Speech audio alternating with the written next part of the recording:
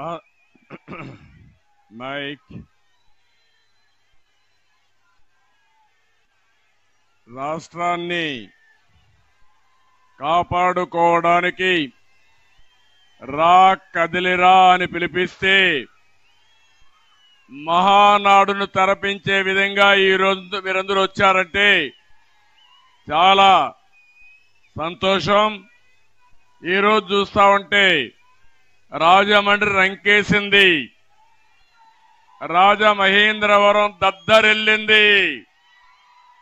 మీ ఉత్సాహం చూస్తామంటే ఒక పక్క సముద్రం సముద్రానికంటే ఎక్కువగా జన సముద్రం మన ముందరకు వచ్చింది మీ ఉత్సాహం మీ కసి చూసి చెప్తున్నాను. త్వరలో మంచి రోజులు వస్తాయి.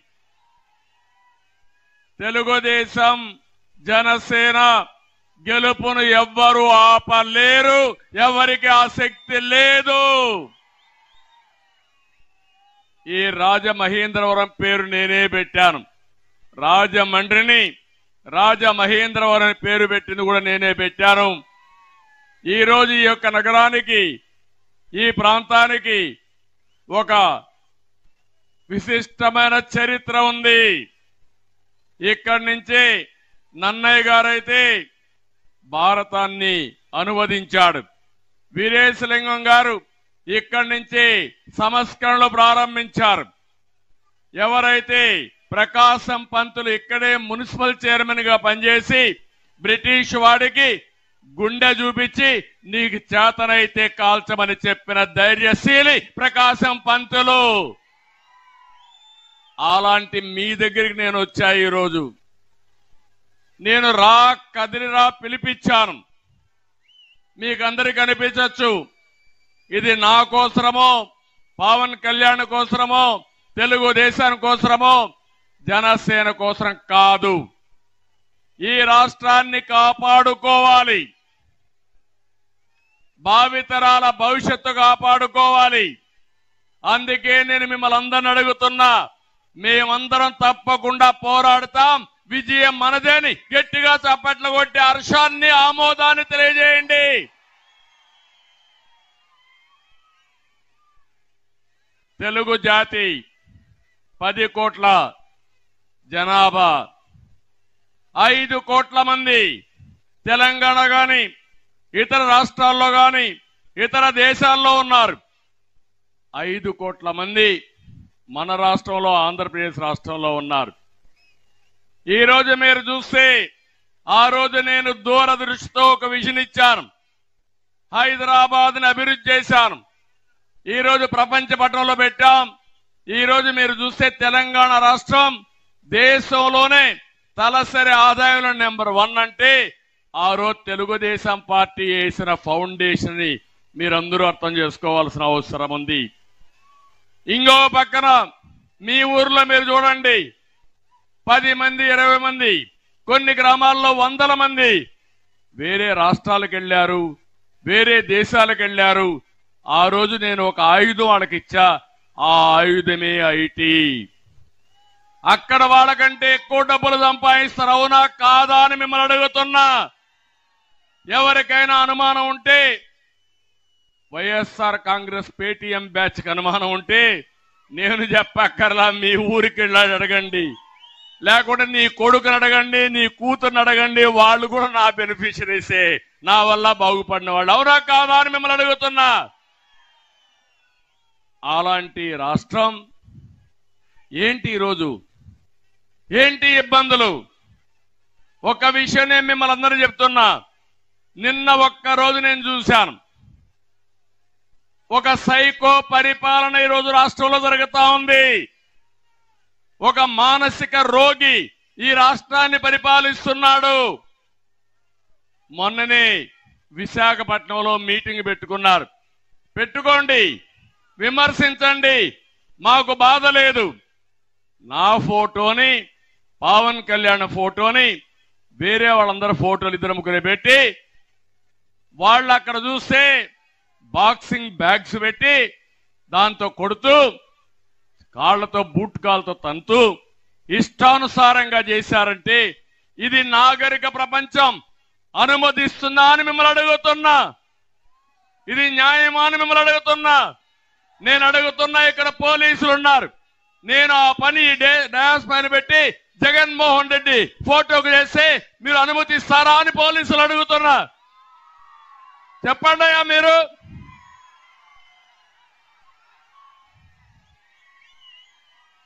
ఏం చేశారు మీరు?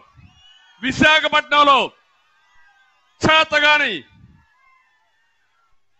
వ్యక్తులుగా మీరు చూస్తున్నారంటే మేము పడేది ఈ ప్రజల కోసరం పడుతున్నాం కానీ ఈ సైకో కోసరం కాదు. ఒక్క నిమిషం పని నాకు అది ఎందుకు మీ విషయం చెప్తున్నానంటే రాజకీయాల్లోకి వచ్చాం కాబట్టి ప్రజల్ని కాపాడుకోవాలి. రాష్ట్రానికి న్యాయం జరగాలి. దుర్మార్గుడి చేతుల్లో నుంచి రాష్ట్రాన్ని కాపాడాలంటే ఇలాంటి పనికి మాలిన పనులు పనికి మాలిన సంస్కృతి రాజకీయాలకు తెచ్చాయంటే ఏమనాల తమ్ముళ్ళు? అందరూ గట్టిగా చప్పట్లు కొట్టి నిరసన తెలియజేయండి. ఇది తప్పని చెప్పండి. అది అయిన తర్వాత ఇంకొక బాధేస్తుంది. నిన్ననే మాచర్ల దుర్గారావు అనే ఒక కార్యకర్త మత్స్య కార్మికుడు. అతన్ని విపరీతంగా మీరు చూస్తే పోలీసులు తీసుకుపోయి హెరాస్మెంట్ మొదలుపెట్టారు. కొట్టడం మొదలుపెట్టారు. పార్టీ మారమన్నారు. ఎస్ఐ ఎన్ని చెప్పినా ఏం లేదు. రిపీట్ కొడతా ఉంటే ఏం చేయాలో దిక్కుది లేకుండా మళ్ళా పోతే కొడతారని భయంతో ఆత్మహత్య చేసుకుని చనిపోయాడు. మీరు అర్థం చేసుకున్నారా? మనం ఇలాంటి బలవంతపు మరణాలు ఎన్ని జరిగాయో లెక్కలేనన్ని మరణాలు జరిగాయి. ఒక ఉన్మాది పాలనలో ఒక సైకో పాలనలో అందరం బాధితులమే. అవునా కాదా? తమ్ముళ్ళో మీరే చెప్పండి. అంటే నీ దగ్గర అధికారం ఉందని ప్రభుత్వంలో ప్రజాధనాన్ని ఉపయోగించుకొని తప్పుడు కేసులు పెట్టి వేధిస్తావా నువ్వు? రోజు వస్తుంది నేను ఒకటే చెప్తున్నా ఇలాంటి వాళ్ళు చాలా మంది చూసినా కాల గర్భంలో కలిసిపోయారు. అదే జరుగుతుంది రేపు. ఆ దుర్గారావు గారు మరణానికి కారణమైన ఈ వైసీపీ నాయకుల్ని ఏమనాలి? జగన్మోహన్ రెడ్డి ఒక పెద్ద సైకో అయితే అక్కడ ఒక చిన్న సైకో ఎమ్మెల్యే ఉన్నాడు. వీళ్ళందరూ కలిసి అరాచకాలు క్రియేట్ చేస్తున్నారు. నిన్ననే నేను చూశాను. అనంతపూర్లో ఎంత దారుణం అంటే ఒక మహిళ వితంతు ఒక అబ్బాయి ఉన్నాడు. ఆవిడికి పెన్షన్ రావాలంటే అది అడగనని పోతే నటరాజ్ అనే ఒక వ్యక్తి వైఎస్ఆర్ కాంగ్రెస్ నాయకుడు మంత్రి అనుచరుడు తన కోరిక తీర్చమన్నాడు. ఆ అమ్మాయి చెప్పింది నేను అలాంటి దాన్ని కాదు. నన్ను వదిలిపెట్టంటే ఆ అమ్మాయిని వేధించి వేధించి కడకు నడి రోడ్లో ఆ అమ్మాయి పైన దాడి చేశారు. ఒక దుర్మార్గుడు ఒక కీచకుడు ఒక దుశ్శాసనుడు కోరిక తీర్చలేదని ఆ అమ్మాయిని నడి రోడ్లో కొట్టి విపరీతంగా బాధించి ఎక్కడైతే పవిత్రంగా చూస్తామో లేడీస్ని అలాంటి మహిళ మీద కాళ్ళతో తన్నాడంటే ఏంటి వీళ్ళందరూ? ఒక ఓసారి అనిపిస్తుంది. ఆంబోతులు మారిగా తయారయ్యారు. ఊరి మీద పడ్డారు. ఆంబోతులకు హెచ్చరిక చేస్తున్న నా ఆడబిడ్డల జోలుకొస్తే కబద్దార్ అదే లాస్ట్ డే అవుతుంది మీకు. సిగ్గుందా? ముఖ్యమంత్రి అని అడుగుతున్నా. నువ్వు సైకో అవునా కాదని అడుగుతున్నా. అంటే ఎక్కడికి పోతున్నాం ఈ రాష్ట్రంలో? నిన్ననే ఒక సీనియర్ నాయకుడు కన్నా లక్ష్మీనారాయణ నియోజకవర్గానికి పోతే అక్కడ ఒక సైకో ఉన్నాడు ఆంబోత రాంబాబు. ఆయన మీద దాడి చేస్తాడు.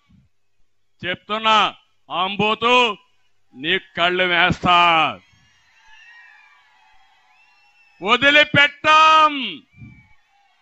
వడ్డీతో సహా చెల్లిస్తా కబద్దార్ జాగ్రత్త జాగ్రత్తగా ఉండమని హెచ్చరిస్తున్నా ఈ రాజమహేంద్రవరం నుంచి గర్జిస్తున్నా ఇంకొక పక్క నిన్ననే మీరు చూశారు. తెలుగు భాష ప్రారంభమైంది వైఎస్ఆర్ కాంగ్రెస్ పార్టీలో. తమ్ముళ్ళు ఇప్పుడు వాళ్ళు చూస్తామంటే ఆ పార్టీలో ఎమ్మెల్యేలుగా పోటీ చేయాలంటే భయపడిపోతున్నారు. పారిపోతున్నారు. ఇప్పటికే మీరు చూస్తే అరవై ఎనిమిది మందిని తీసేశారు. అందులో ఇరవై తొమ్మిది మందికి సీట్లే ఇవ్వాల? బదిలీలు. ఇది ఒక రాజకీయ క్రీడ. నా జీవితంలో బదిలీలు ఎప్పుడూ చూడలా. మొట్టమొదటిసారిగా ఇక్కడ చల్లని చెత్తని ఇంకొక ఇంటి ఇంకొక ఊరికి పంపిస్తున్నారు. అంటే నేను అడుగుతున్నా ఒక ఊర్లో చెత్త ఇంకొక ఊర్లో బంగారం అవుతుందా? తమ్ముళ్ళు అని మిమ్మల్ని అడుగుతున్నా. మొత్తం దళితులకే దీంట్లో ఎగ్గొట్టారు. మొత్తం మార్చిందంతా చూస్తే నలభై తొమ్మిది మంది బడుగు బలహీన వర్గాలు. ఎగ్గొట్టిన వాళ్ళలో పదకొండు మంది దళితులు. సీట్లు బీకేసిన వారిలో బీసీలు నలుగురు. ఈ సైకోతో మేము వేగలేమని నలుగురు ఎంపీలు పారిపోయారు. ఇంకో పక్క మా కొద్ది యొక్క సైకో ముఖ్యమంత్రిని ఆరు మంది ఎమ్మెల్యేలు బారిపోయారు. అదే దారులు అందరూ ఉన్నారు. రేపో ఎల్లుండో మనం గేట్లు ఓపెన్ చేస్తే ఫ్లడ్ గేట్స్ ఇది ఆ పార్టీ ఖాళీ అయిపోతుంది.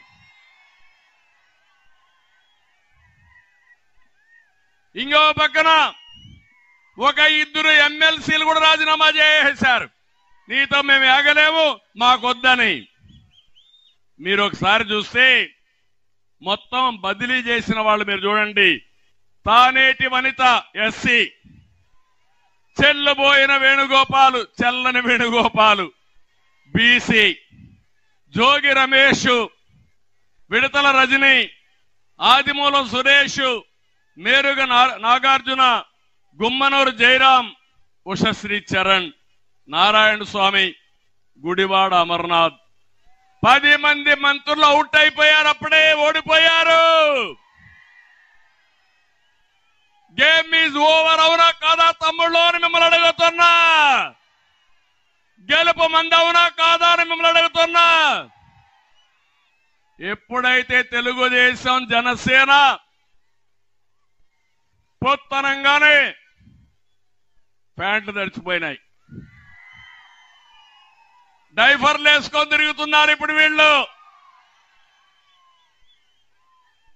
రేపో ఎల్లుండో మీరు మీ పార్టీ వెంటిలేటర్ పైకి పోతారు భయపడిపోయి. ఆ రోజు ఎక్కువ రోజుల్లో లేదు అవునా కాదా అని మిమ్మల్ని అడుగుతున్నా. తమ్ముళ్ళు నిన్న ఒక ఎమ్మెల్యే అడిగాడు ఈ ముఖ్యమంత్రిని సమాధానం చెప్పమంటున్నా. ఒక ఆయన సత్యవేళ్ళు ఆది మూలం ఒక ఎమ్మెల్యే. ఆయనకి ఏం చేశారంటే సీట్ ఇవ్వకుండా ఎంపీగా ఇచ్చారు. అతను నీతుండేవాడు కాబట్టి ఒక మాట అన్నాడు. నన్ను ఎంపీగా పంపించారు. దేనికి పంపించారో చెప్పమన్నాడు.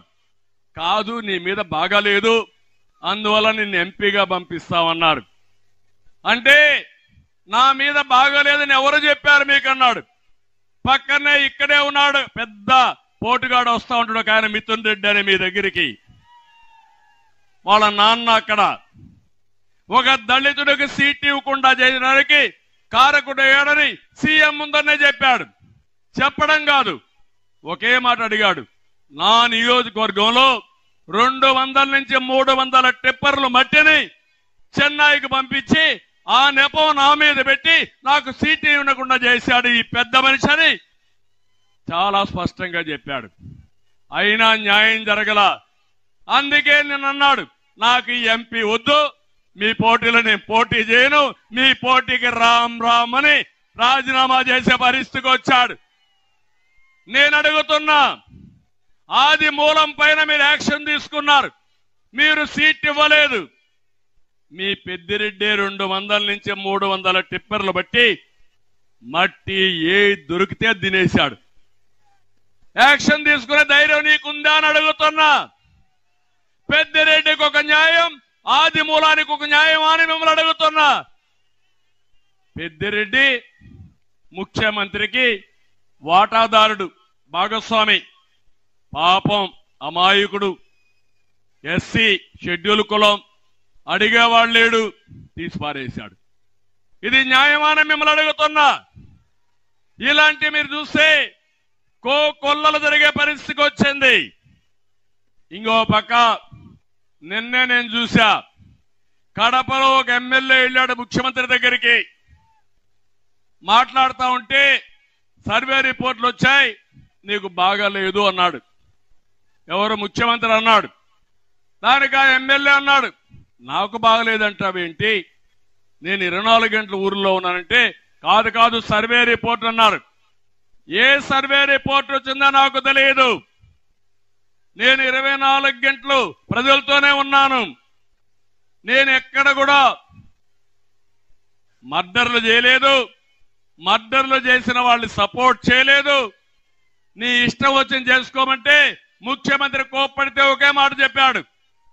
హోల్సేల్గా రాష్ట్రంలో అవినీతి జరుగుతా ఉందని దేశం అంతా చెప్పుకుంటా ఉంది. నువ్వు నా మీద మాట్లాడతావని చెప్పి బయట వచ్చాడు తిరుగుబాటు వైఎస్ఆర్ కాంగ్రెస్ పార్టీ ఎమ్మెల్యేలో ప్రారంభమైంది. ఎన్నికల ముందే ఈ పార్టీ ఓడిపోతుంది. ఎన్నికలు అవుతానే ఖాళీ అయిపోతుంది. ఆ పార్టీ ఉండదు తమ్ముళ్ళు గుర్తుపెట్టుకోండి. నేను అందుకే ఒక్క విషయం మిమ్మల్ని అడుగుతున్నా. ఈరోజు నేను వచ్చింది మళ్ళా మాకు అధికారం కోసరం కాదు. ఈ రాష్ట్రాన్ని కాపాడుకోవడానికి మీరందరూ ముందుకొస్తారా లేదా అని మిమ్మల్ని అడుగుతున్నా. నిన్న ఒక్క రోజే నాలుగు సంఘటనలు మీరు చూశారు. ఒక ఆడబిడ్డకు రక్షణ లేదు. ఒక వ్యక్తి ప్రజాస్వామ్యంలో ఇష్టమైన పార్టీలో పనిచేయడానికి వీలు లేదు. బానిస జీవితాన్ని గడపాలి.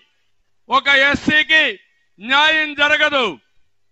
ఇంకొక పక్క ఒక అమ్మాయికి అరాచకంగా నడి రోడ్లో కోరిక తీర్చలేదని ఇష్టానుసారంగా చేసి అడిగే నాదుడు లేడు.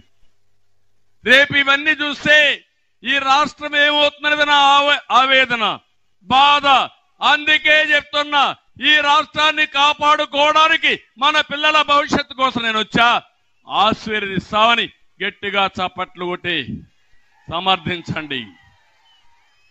అందుకే రా కదిరా పిలిపించాను.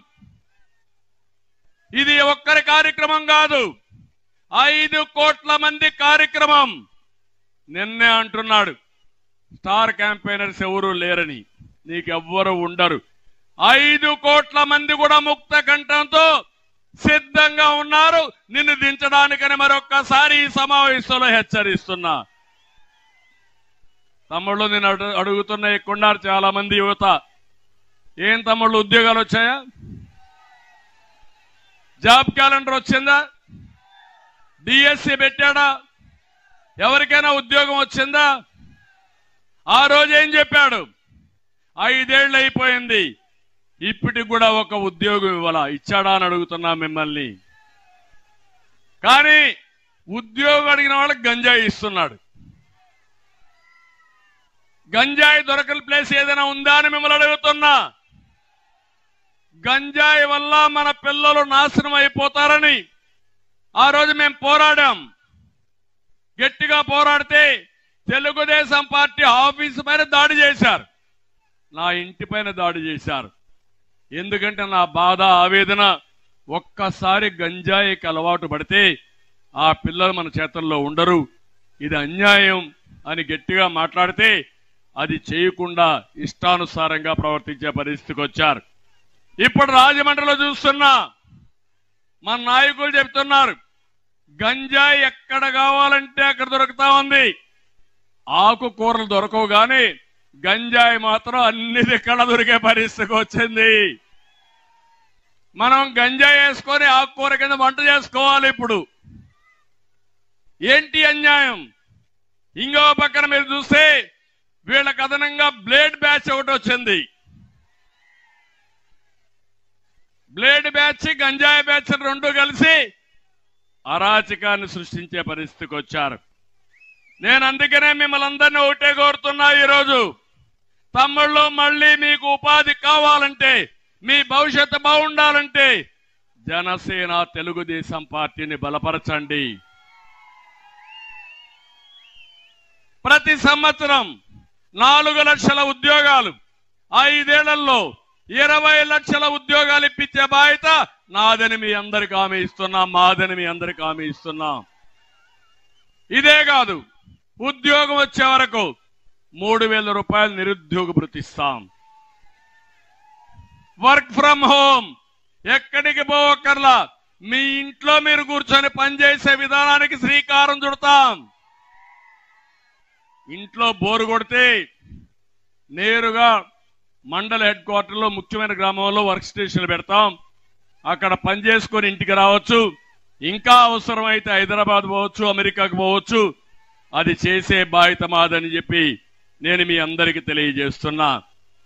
యువత సిద్ధంగా ఉన్నారా అని మిమ్మల్ని అడుగుతున్నా. డెబ్బై రెండు రోజుల కౌంట్ డౌన్ ప్రారంభమైంది. సైకిల్ ఎక్కండి. గ్లాసు పట్టుకోండి. తెలుగుదేశం జనసేన జెండాలు పట్టుకోండి. ఇంటింటికి వెళ్ళండి. ప్రజల్ని మెప్పించండి వాస్తవాలు చెప్పండి. మీ భవిష్యత్తు బంగారు భవిష్యత్తు చేసే బాధ్యత మాదని మరొక్కసారి యువతకు పిలిపిస్తున్నా. తమ్ముళ్ళు ఇక్కడ వ్యవసాయం ఏమైనా బాగుందా అని మిమ్మల్ని అడుగుతున్నా. ఏ రైతైనా బాగున్నాడని అడుగుతున్నా. వ్యవసాయ శాఖను మూసేశారు. ఇంకో పక్క ఇరిగేషన్ రివర్స్ చేశారు.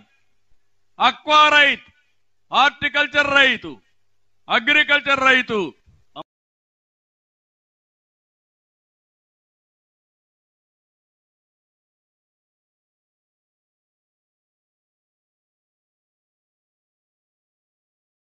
తెలుగుదేశం జనసేన జెండాలు పట్టుకోండి. ఇంటింటికి వెళ్ళండి. ప్రజల్ని మెప్పించండి వాస్తవాలు చెప్పండి. మీ ప్యాడీ పండించాలి. వరిధాన్యం పండిస్తాం. కానీ తినే అలవాట్లు మారుతున్నాయి. దీనికి అనుగుణంగా మన పంటలు మార్చుకోవాలని ఆ రోజు నేను ఆలోచించాను. అందుకే మీరు ఈరోజు చూస్తే పామాయిల్ రాష్ట్రంలో ప్రవేశపెట్టింది మన నాయకుడు ఎన్టీ రామారావు గారు అనే విషయం మీరు గుర్తుపెట్టుకోవాలి. వాణిజ్య పంటలకు ఎక్కువ ప్రాధాన్యత ఇచ్చాం. ఒక పక్క అక్వా పెద్ద ఎత్తున సాగు చేశాం. రాయలసీమలో పండ్ల తోటలకు ప్రాధాన్యత ఇచ్చాం. ఈ దుర్మార్గుడు వచ్చి మొత్తం ముంచేసే పరిస్థితికి వచ్చాడు. వరి ధాన్యం కొనే నాదుడు లేడు. వర్షాలు పడతా ఉంటే గోతాలు ఇవ్వలేరు. సంచులు ఇవ్వలేరు కానీ ఇష్టానుసారంగా మన మీద దాడులు చేసే పరిస్థితికి వచ్చారు. ఎక్కడ కూడా సబ్సిడీ రావడం లేదు. గిట్టుబాటు ధర లేదు. ఇలాంటి చూస్తే దేశంలోనే ఎక్కువ అప్పుండే రైతాంగం మన రాష్ట్రంలో ఉన్నారు. దేశంలో ఆత్మహత్యలు ఎక్కువ చేసుకున్న రాష్ట్రంలో మన రాష్ట్రం ఉంది. నేను ఒకటే హామీ ఇస్తున్నా మీ అందరికీ. మళ్ళీ మంచి రోజులు వస్తాయి. రైతు రాజ్యం వస్తుంది. రైతుకు న్యాయం చేసే బాధ్యత మాదని మరొక్కసారి రైతులందరికీ హామీ ఇస్తున్నా. దుర్మార్గుడు ఎంత? ఇదంటే పక్కనే పోలవరం. పోలవరం ఈ రాష్ట్రానికి ఒక వరం. డెబ్బై రెండు పర్సెంట్ పూర్తి చేశా. అలాంటి దాన్ని ఎత్తకపోయి గోదావరిలో కలిపేశాడు. డయాఫామ్ వాల్ పోయింది. కాఫర్ డ్యాములు పోయినాయి. గైక్ బండి పోయింది. ఎప్పుడవుతుందో తెలియదు. ఆగమ్య గోచరం అదే తెలుగుదేశం పార్టీ అధికారం ఉండుంటే రెండు వేల పంతొమ్మిదిలో సంవత్సరంలో అయ్యే పనిని సర్వనాశనం చేశాడు. ఇది చాలా బాధాకరం. ఇంకో పక్క రైతులందరికీ ఇక్కడే ప్రజలకు కూడా చెప్తున్నా ఏం తమ్ముళ్ళు కరెంటు ఛార్జీలు పెరిగాయా లేదా అని మిమ్మల్ని అడుగుతున్నా? పెరుగుతూనే ఉన్నాయా లేదని మిమ్మల్ని అడుగుతున్నా?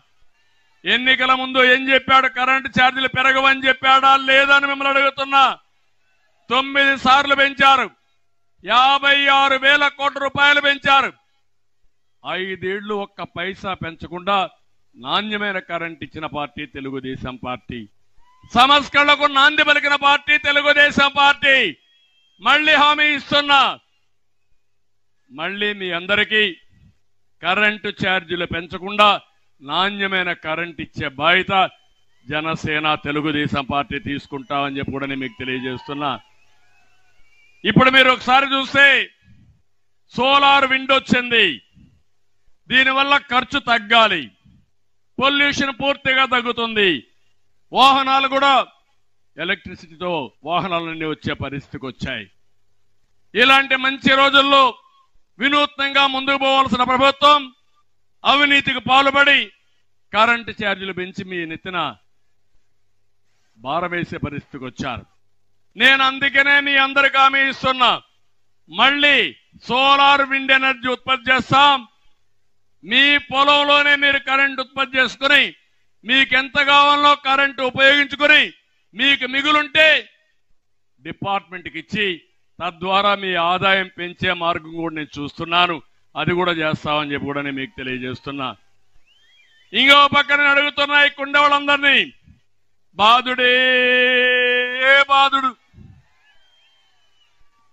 మామూలు బాధుడు కాదు. పన్నులు బాధుడితో పేదల రక్తం దాగే మాయగాడి జగన్. అన్నా క్యాంటీన్ కట్ చేశాడు. పండుగ కానుకలు కట్ చేశాడు. పెళ్ళి కానుక కట్ చేశాడు. చంద్రన్న బీమా కట్ చేశాడు.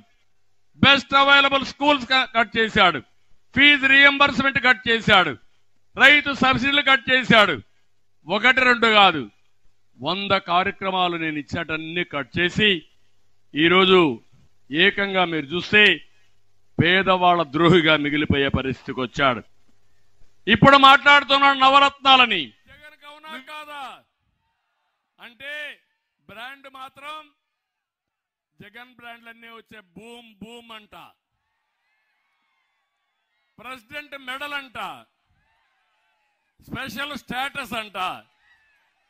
నాకే అర్థం కాల ఈయన ఇంత ఇన్నోవేషన్ ఎట్లా వచ్చిందో సావు తెలివి. ఇలాంటి అడ్డదారిలో మాత్రం బ్రహ్మాండమైన తెలివైన వాడు ఇంకో పక్క మీరు చూస్తే పన్నులు పెంచారు.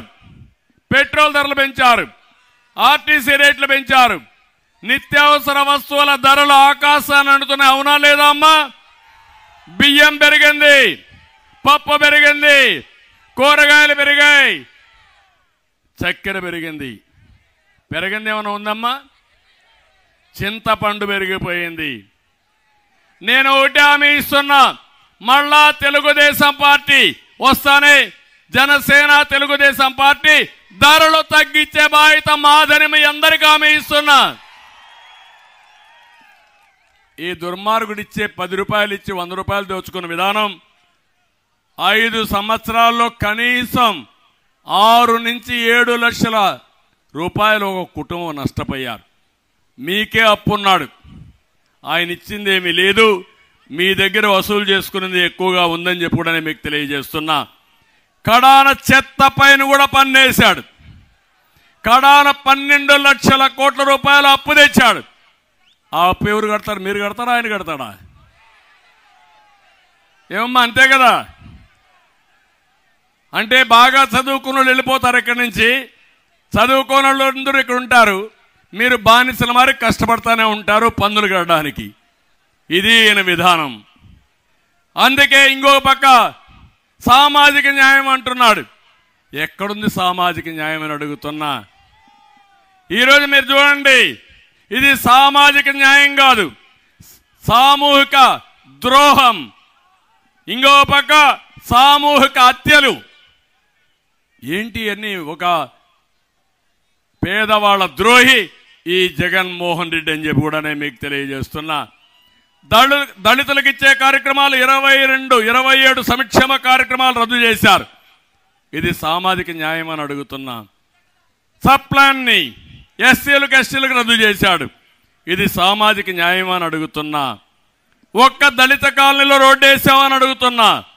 అభివృద్ధి చేసామని అడుగుతున్నా.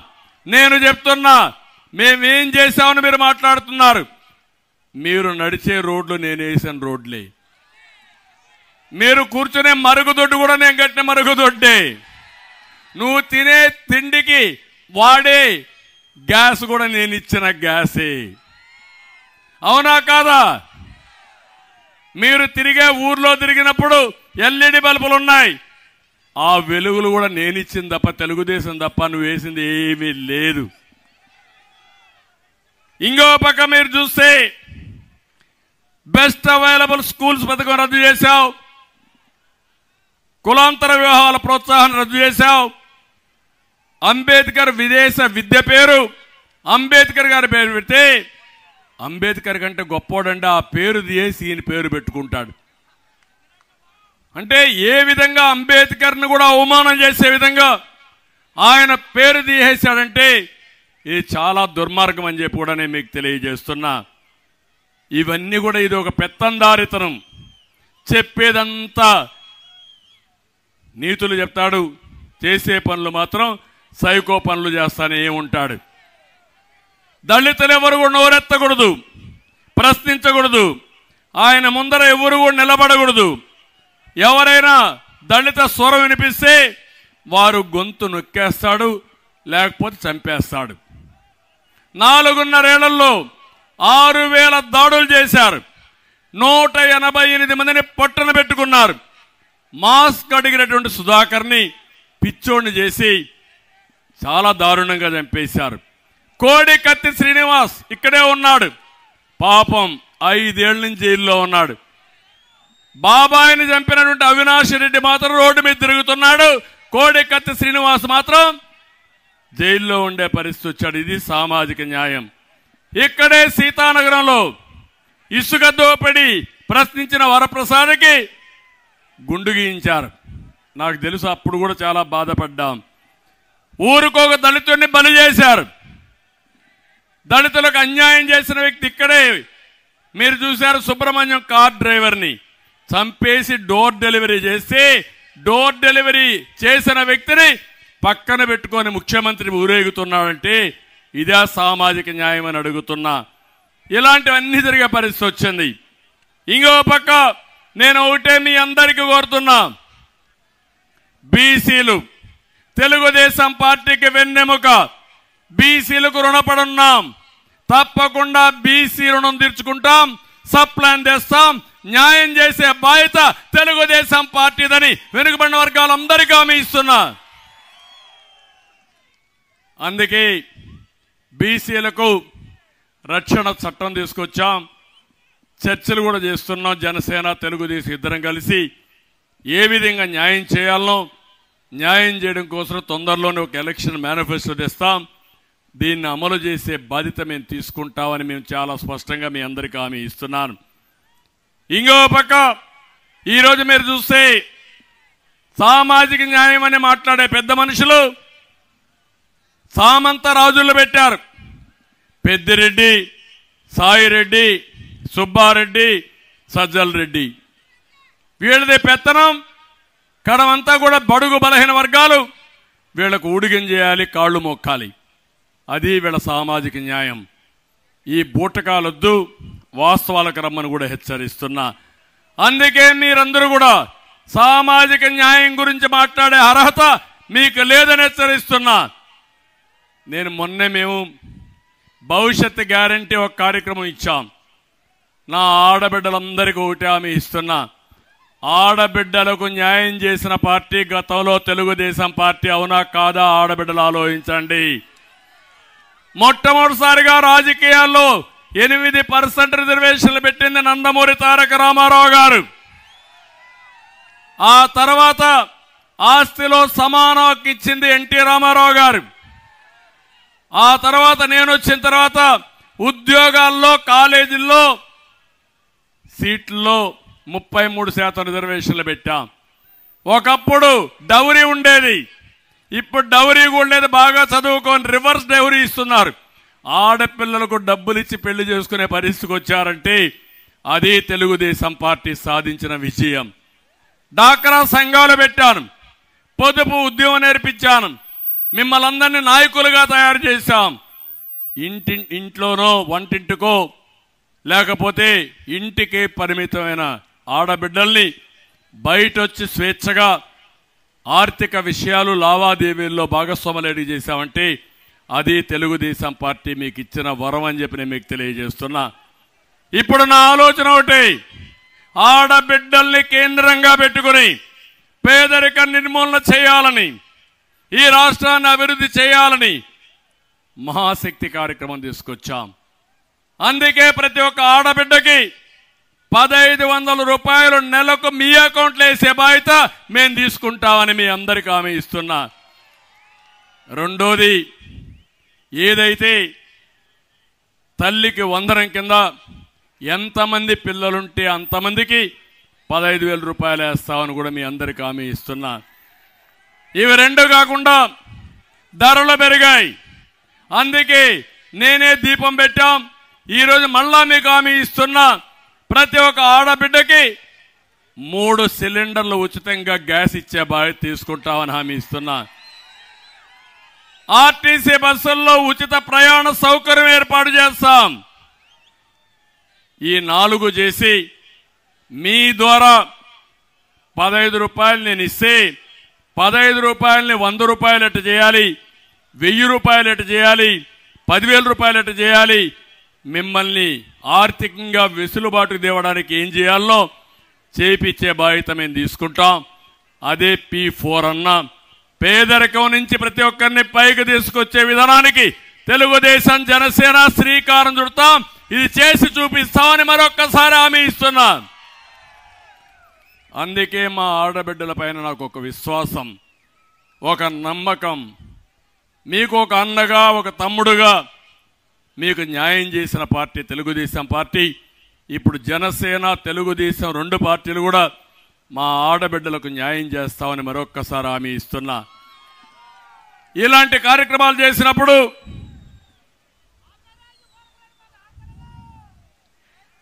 ఇప్పుడు ఇంకో పక్క చూస్తే ఈ ముఖ్యమంత్రి చెప్పేటన్ని ఒకటి చేసే పనులు మాత్రం అన్ని పనికిరాని పనులు. ఆయన పెట్టిన హాస్పిటల్స్ బ్రహ్మాండంగా ఉన్నాయన్నాడు.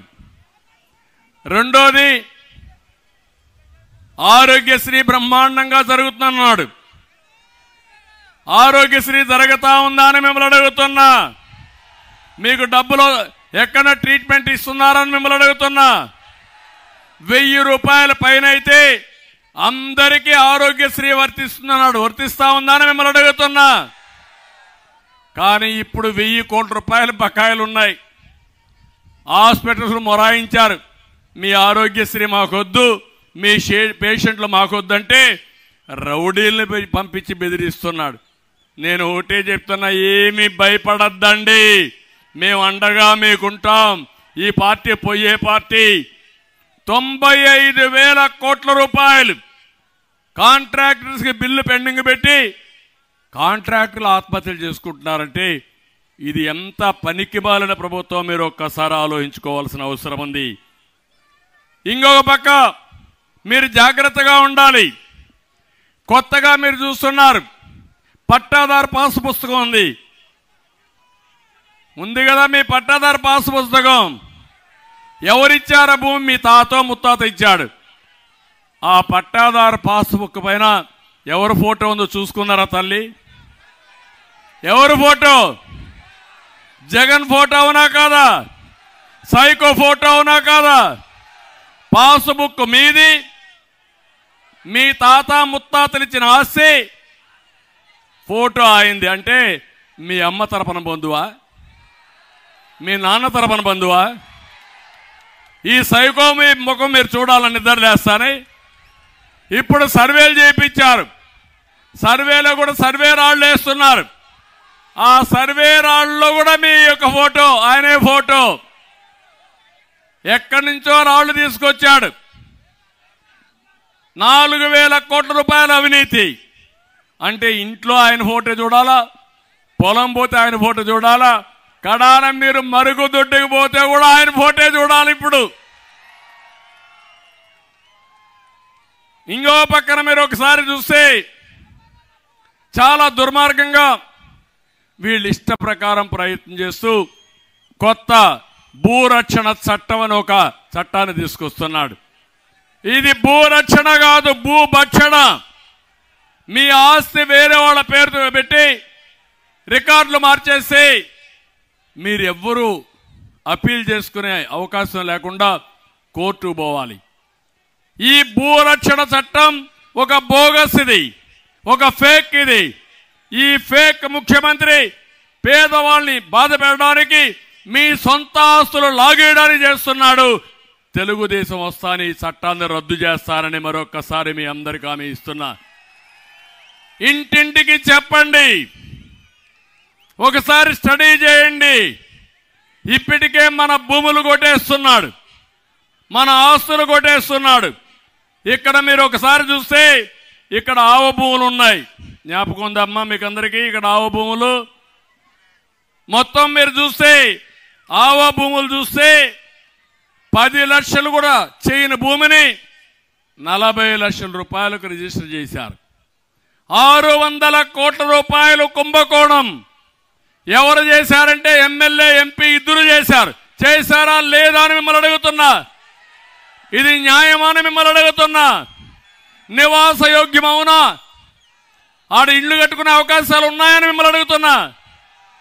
అంటే ప్రజాధనాన్ని ఆరతి కర్పూరం మార్గం మింగేస్తున్నారు దుర్మార్గులు. ఇవన్నీ ఎంక్వైరీలు జరుగుతాయి. వీళ్ళు అంతు తేలుస్తామని కూడా నేను మీకు తెలియజేస్తున్నా. ఇంకో పక్కన టిట్కో ఇండ్లు. ఆరు వేల రెండు వందల ఇండ్లు కట్టాం. రంగులు వేసుకున్నారు కానీ రంగులు పిచ్చోడు. ఇల్లు మాత్రం పూర్తి చేయాలా? చేశారా అని మిమ్మల్ని అడుగుతున్నా. పేదవాళ్ళకు ఆస్తి ఇవ్వాలనుకుంటే ఇలాంటి దుర్మార్గమైన కార్యక్రమం చేసే పరిస్థితికి వచ్చాడు. కడాన మట్టి కుంభకోణం. పోలవరం కాలువలు మనం దోవితే కాలువల పక్కన గట్లో ఉండి మట్టిని దొంగ వ్యాపారం చేసుకుని పోలవరం కాలువలకు కూడా గండిపడే పరిస్థితి రష్యన్ లేని పరిస్థితి చేసే పరిస్థితికి వచ్చాడు. పర్యావరణానికి ముప్పు చేసే పరిస్థితికి వచ్చాడు. ఇక్కడే రాజమండ్రి కేంద్రంగా ఇసుక కుంభకోణం ర్యాంపులు పెట్టి దోచేస్తున్నారు. ఏంటి అన్యాయం? నేను వచ్చి చూశాను. అడిగాను. రీచ్ల దగ్గరకు వచ్చి చూపించాను. ఈ రీచ్ ఎవరున్నారో రమ్మన్నాను. ఒక్కడు కూడా రాలా అక్కడికి పారిపోయారు. అంటే పర్మిషన్ కూడా లేదు. టెండర్ కూడా పిలవలేదు ఇల్లీగల్గా ఇష్టం వచ్చినట్టు వీళ్ళు ఇసుకను కూడా భోంచేస్తున్నారు. వీళ్ళు మనుషులా రాక్షసులా నాకైతే అర్థం కాల. ఇసుక కుంభకోణం. భూముల కుంభకోణం మద్యం కుంభకోణం. ఇంకో పక్క ఎక్కడికక్కడ భూగర్భ ఖనిజ సంపద. అన్ని దోచుకునే పరిస్థితికి వచ్చారు. నేను ఒకటే ఈ రాజమండ్రిలో మీకు అందరికీ హామీ ఇస్తున్నా. తప్పకుండా తెలుగుదేశం పార్టీ జనసేన ప్రభుత్వం వీళ్ళు తిరిగిన డబ్బుల్ని కక్కిస్తాం దోషుల్ని కఠినంగా శిక్షించే బాధ్యత మేము తీసుకుంటాం. ఇక్కడికి వచ్చినప్పుడు ఒక ఎంపీ ఉన్నాడు రీల్స్ మాస్టర్ పార్లమెంట్లో ఏమీ మాట్లాడు సోషల్ మీడియాలో మాత్రం రీల్స్ పెడతానే ఉంటాడు. అడిగి గుడ్ మార్నింగ్ చెప్పించుకుంటాడు మీ దగ్గర. అడిగి పూలు చల్లించుకుంటాడు. మళ్ళా వీడియో తీసి మళ్ళా రీల్స్ పెడతా ఉంటాడు. అంటే వీళ్ళంతా పిచ్చోళ్ళంటే ప్రజలను అమాయకులు చేయాలనుకుంటున్నాడు. అందుకే ఆయన చూసిన తర్వాత నీ రీల్స్ చూసి చూసి అలసిపోయాం. కాబట్టి నువ్వు ఎంపీగా పనికిరావు. ఎమ్మెల్యేగా బొమ్మను ఒక తన్ను దాన్ని రాజమండ్రిలో పడేశారు. ఇతను ఎక్కడ ఏ పని జరిగినా పదహైదు పర్సెంట్ కమిషన్ ఇవ్వాల్సింది. వాటా. నేను కమిషన్ అన్నా నువ్వు వాటా అన్నావు. ఆవభూముల కుంభకోణంలో ఈయన వాటా నూట యాభై కోట్లు అవునా కాదా అని మిమ్మల్ని అడుగుతున్నా. అలాంటి మహానాయకుడు ఇంకొక ఆయన అనపర్తిలో ఉన్నాడు. ఆయన గ్రావల్ రెడ్డి. ఆయన పనే గ్రావల్ మొత్తం దువ్వేయడం ఆయన సతీమణి గుడి ఏ పని. ఎమ్మెల్యే అనుచరులు కాపవరం దొంతమూరులో అక్రమ తవ్వకాల్లో కోట్లు సంపాదించారు. తోలడు తోడల్లుడు. Rice millers association president. అందులో ఒక ముప్పై కోట్లు కొట్టేశాడు. అక్కడుండే మన ఇన్ఛార్జ్ అయితే కొట్లాడుతూనే ఉన్నాడు. గ్రావెల్ మాత్రం ఆపలేకపోయాడు. కేసులు మాత్రం ఉన్నాయి. కోర్టు చుట్టూ తిరిగే పరిస్థితికి వచ్చాడు. ఇది న్యాయం ఈ రాష్ట్రంలో ఈ జిల్లాలో. ఇంకో పక్క Rajanagaram Jakkampudi. Raja blade batch leader ఎక్కడ బ్లేడ్ బ్యాచ్ ఉన్నా ఆయన ఉంటాడు అక్కడ. ఆయన పెద్ద నాయకుడు. పేదల ఇళ్ళ స్థలాల్లో ఐదు లక్షల భూమి నలభై ఐదు లక్షల రూపాయలు రిజిస్టర్ చేస్తాడు. ఐదు లక్షలకు కొంటాడు నలభై ఐదు లక్షలకు అమ్మతాడు. గొప్ప నాయకుడు. నామవారం కొత్త తుంగపాడు మునగాళ్ళ కొండలు కూడా కరిగిపోతున్నాయి. మహాగణుడు. ఆయన ఏమీ చేయలేడు. ఆయన భోజనమే ఇసుక లేకుంటే గ్రావెలు. ఇలాంటి నాయకులు ఇక్కడ ఉన్నారు. నిడత వల్ల ఒక ఆయన ఉన్నాడు శ్రీనివాసుల నాయుడు. రియల్ ఎస్టేట్ వ్యాపారం. వసూళ్ళన్నీ ఆయనవే. బకాసుల మాదిరిగా మట్టి మట్టి ఇసుక మొత్తం పోంచేసేస్తున్నాడు ఆయన ఒక పెద్ద నాయకుడు. పక్కనే కొవ్వూరులో ఒక మంత్రి ఉంది. పాపం. ఇప్పుడు ఆ మంత్రిని కొవ్వూరు నుంచి ఒక పుష్ ఇచ్చి గోపాలపురానికి తరివేశారు. ఆవిడ పంగిడి కుమారదేవంలో ఇసుక మట్టి ఎర్రమట్టి అంతా ఆవిడ మొనోపలి. ప్రతి వంద మీటర్లకు ఇష్టారాజ్యంగా ఇసుక ర్యాంపులు పెట్టింది. బ్రహ్మాండమైన వ్యాపారం. గోదావరి మాత్రం ఎప్పుడు దిగిపోతుందో తెలియదు కానీ వాళ్ళు మాత్రం బాగుపడే పరిస్థితికి వచ్చారు. అక్కడ ఒక దళిత నాయకుడు ఒక యువకుడు మహేంద్ర. ఆత్మహత్య చేసుకునే పరిస్థితి తీసుకొచ్చారు. వాళ్ళంతా ఆందోళన చేశారు. ఈవిడికి ఇప్పుడు సీటు పోయింది గోపాలపురం తరివేశారు. గోపాలపురంలో ఒక నాయకుడు ఉన్నాడు ఆయన తలారి వెంకట్రావు. గ్రూప్ తగాదాల్లో సొంత పార్టీ కార్యకర్తలనే బలి తీసుకున్నాడు. గ్రామస్తులు కూడా తిరుగుబాటు చేశారు. ఆయన చూస్తే ఇప్పుడు ఆయన సీటు కూడా పోయి ఇప్పుడు నేరుగా ఆయన కొవ్వూరికి ఈవిడ గోపాలపురానికి స్వాపింగ్ పెట్టారు. ఇక్కడ చెత్త అక్కడ బంగారం అక్కడ చెత్త ఇక్కడ బంగారం మీరు నమ్మాల? నమ్మాలి కదా? అదే కణికట్టు అంటారు. ఒకప్పుడు నేను చూసేవాడిని చిన్నప్పుడు. ఊర్లోకి వచ్చేవాడు. ఇప్పుడే చూస్తా ఉండంటాడు. గుడ్డు పొదిగిందంటాడు. పిల్ల వచ్చిందంటాడు. అదిగో ఎగిరిపోతాను చూడమంటాడు. నువ్వు కాదంటే చూడు అంటాడు. అదే కణికట్టు. అదే జరుగుతా ఉంది. జగన్మోహన్ రెడ్డి చేసే కణికట్టుని మనం ఆమోదించాలా? నేను చెప్పా జగన్మాయ. మా తమ్ముడు చెప్తాడు జగన్మాయ. అంటే వీళ్ళు ఏ విధంగా తయారయ్యారో ఆలోచించమని కోరుకుంటూ నేను ఒకటే మీకు చెప్తున్నా. ఈ గోదావరి తీరాన మనం ఉన్నాం. నేనే గోదావరి పుష్కరాలు పెట్టి ఈ రాజమండ్రిని బ్రహ్మాండమైన టూరిజం హబ్గా తయారు చేయాలనుకున్నాం. దానికి కట్టుబడి ఉన్నాం. తప్పకుండా మళ్ళీ చేస్తామని చెప్పి నేను మీకు హామీ ఇస్తున్నా. ధాన్యం రైతులు ఇక్కట్లు తొలగిస్తాం. అక్వా రైతులను ఆదుకుంటాం. రోడ్లన్నీ అధ్వానంగా అయిపోయినాయి. రోడ్డు మీదనే డెలివరీ అయ్యే పరిస్థితి వస్తూ ఉంది. నేను ఆ రోడ్లన్నీ బాగు చేసే బాధ్యత మేము తీసుకుంటాం.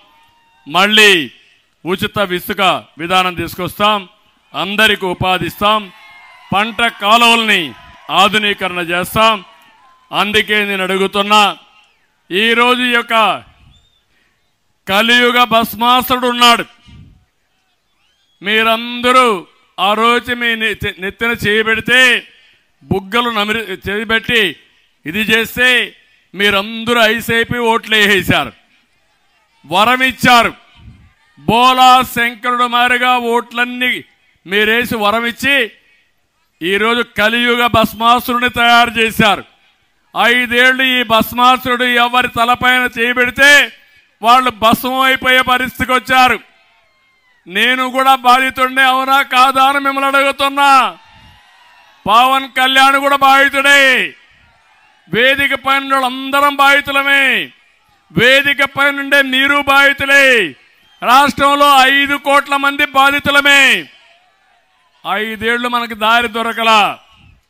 నిన్ననే మీరు చూస్తే మా జయదేవ లాంటి వ్యక్తి బ్రహ్మాండంగా పోరాడిన వ్యక్తి నాకు రాజకీయాలు వద్దు కొంత సమయం విరామం కావాలని విశ్రాంతి తీసుకొచ్చే పరిస్థితి వచ్చాడంటే ఈ సైకో దెబ్బకి అందరూ పారిపోతున్నారు. అందుకే అడుగుతున్నా మళ్ళీ మిమ్మల్ని అందరినీ. ఈ రాష్ట్రాన్ని కాపాడుకుందామా లేదా అని మిమ్మల్ని అడుగుతున్నా. బానిస జీవితాలు కావాలన్నా ప్రజాస్వామ్యం కావాలన్నా మీ పిల్లల భవిష్యత్తు బాగుండాలనా లేదా? దీనికి ఒకే అవకాశం. అది డెబ్బై రెండు రోజుల్లో జరిగే ఎన్నికలు. మీ దగ్గర ఓటు ఉంది. వజ్రాయుధం. ఆ ఓటు ఉపయోగించండి. బస్ పాసుని అంతం చేయండి. సిద్ధమా అని మిమ్మల్ని అడుగుతున్నా. కలియుగ భస్వాసురుణ్ణి తుద ముట్టిస్తామని గట్టిగా చప్పట్లు కొట్టి చెప్పండి. ఈ రోజు నుంచి స్వచ్ఛందంగా మీరు ముందుకు రావాలి. నా కోసరం కాదు మా కోసరం కాదు. మన కోసరం మన రాష్ట్రం కోసరం మన పిల్లల భవిష్యత్తు కోసరం. అవసరమైతే పది రూపాయలు మీరే ఖర్చు పెట్టుకున్న చొరవ కూడా తీసుకోవాలి. నష్టపోయిన బాధితులే నాకు క్యాంపైనర్స్ నష్టపోయిన ప్రతి ఒక్క వ్యక్తి మళ్ళీ నష్టపోకుండా అధైర్యపడకుండా ముందుకు రమ్మని కోరుకుంటున్నా. సైకో పాలన పోవాలి. ఎవరిని వదిలిపెట్టాడు? కడాన చెల్లెలు లేదు తల్లి లేదు బాబాయ్ లేదు ఎవరూ లేదు. అలాంటి పరిస్థితిలో మనందరి మీద బాధితుంది దానికి సిద్ధంగా ఉండమని మరొక్కసారి కోరుకుంటూ నేను ఇచ్చిన ఈ పిలుపు మేమిచ్చిన ఈ పిలుపు ఈ రోజు నుంచి ఇంటింటికి వెళ్ళాలి. ప్రతి ఒక్క గుమ్మం తొక్కాలి. ప్రతి ఒక్క గుండె చప్పుడు చేయాలి. చేసి ప్రతి ఒక్కరిలో చైతన్యం తీసుకొచ్చి ఒక్క సీటు కూడా గెలవకుండా వైసీపీని చిత్తు చిత్తుగా ఓడించి భూస్థాపితం చేస్తామని మీరు ప్రతిన చేయాలి. అది చేయండి. ఈ రాష్ట్రాన్ని బాగు చేసే బాధ్యత మేము తీసుకుంటానని చెప్పి తెలియజేసుకుంటూ నేను అన్నదాతల సంక్షేమం కోసం అంటే రా కదిలి రాని గట్టిగా పిడికిలు బిగించి మీరు పిలిపివ్వాలి. అన్నదాతల సంక్షేమం కోసరం. గట్టిగా అన్నదాతల సంక్షేమం కోసరం. మన బిడ్డల ఉద్యోగాల కోసరం. జీవనాడి పోలవరం కోసం గంజాయి లేని సమాజం కోసం బడుగు వర్గాల ఆత్మగౌరవం కోసం సైకో పాలన అంతం కోసం రాతి యుగం పోవాలి స్వర్ణయుగం రావాలి. రా కదిరా రాతి యుగం పోవాలి స్వర్ణయుగం రావాలి. జనసేన తెలుగుదేశం పార్టీ ఐక్యత వర్ధిల్లాలి. తెలుగుదేశం జనసేన ఐక్యత. తెలుగుదేశం జనసేన ఐక్యత. ఒకటే చెప్తున్నా గెలుపు రాష్ట్రం కోసం కాబట్టి కార్యకర్తలందరూ కూడా ఆలోచించాల్సింది నిర్ణయం మేము చేస్తాం. ఏ సీట్లో ఎవరు పోటీ చేస్తారు అవన్నీ నిర్ణయం చేస్తాం. కానీ మీరు క్రమశిక్షణ కలిగిన కార్యకర్తలుగా రాత్రింబగుళ్ళు పనిచేసి ప్రతి ఒక్క ఓటు మనం వేయించుకుని ఈ రెండు జిల్లాల్లోనే కాదు రాష్ట్రంలో ఎక్కడా వైసీపీకి డిపాజిట్ రాకుండా చేసే బాధ్యత మీది. మిమ్మల్ని ఆదుకునే బాధ్యత మాదని మరొకసారి మీ అందరికి హామీ ఇస్తూ అందరికీ నమస్కారాలు. మంచి ఎండ మీ ఉత్సాహం చూసా. హ్యాండ్స్ ఆఫ్ ఎవ్వరు కూడా కదలకుండా ఉన్నారంటే ఇది చూసిన తర్వాత నాకు అనిపిస్తుంది గెలుపు మనదే. దీన్ని ఎవరు ఆపలేరు. అయితే ఇంట్లో పడుకోవద్దండి మళ్ళీ గెలుపు మందే అని ఇంట్లో పడుకుంటే ఏవార్నెట్ అవుతుంది? మామూలు గెలుపు కాదు. ఒక హిస్టారికల్ విక్టరీ అవసరం. ప్రజలేంటో చూపించాల్సిన బాధ్యత మన మీద ఉంది. దానికి సిద్ధంగా మనం కోరుకుంటూ అందరికీ నమస్కారాలు. జై హింద్.